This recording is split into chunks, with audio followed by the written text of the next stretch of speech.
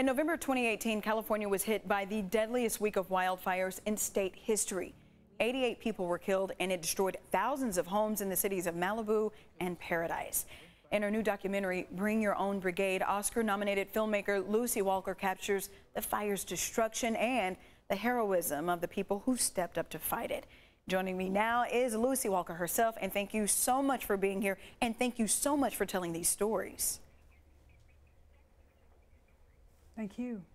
Okay, so I gotta ask, what drew you to California wildfires, particularly those?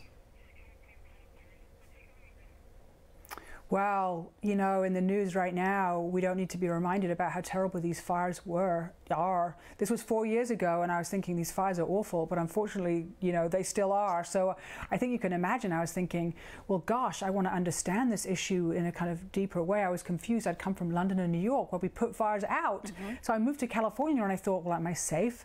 I was honestly frightened. And also confused. I thought, well, what is this story? Why aren't we putting them out? What's what's going on here? And I think in the four years since I began, we've only seen the problem grow.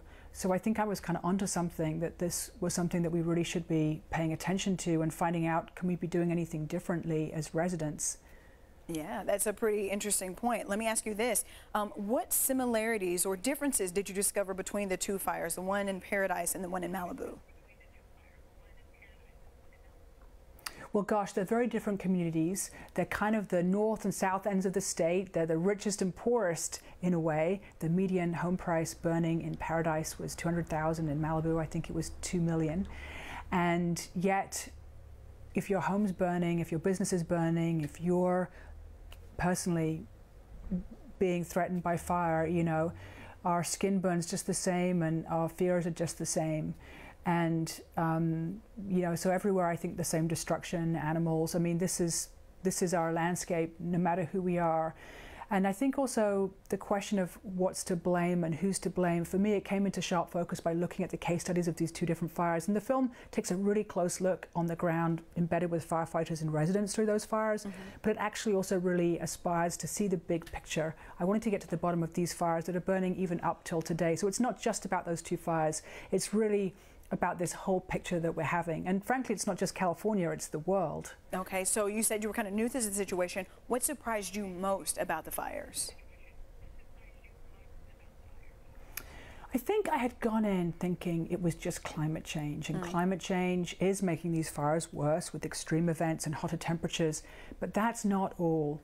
And I learned about some of the other factors that I had no idea about and ultimately, that left me with some hope because climate change is hard to feel optimistic about right now, I think, and it's a bigger problem that is very overwhelming.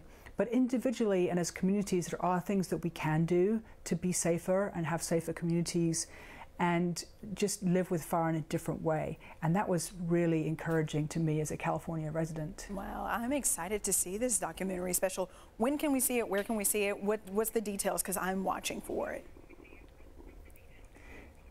The film is opening in lots of movie theaters from tomorrow, August 6th, and then it'll be streaming on Paramount Plus and CBSN from August 20th. All right. Thank you so much for especially covering this story because we can't cover it enough and we have to figure out a solution. Thank you so much for joining us today on The Four. Thank you.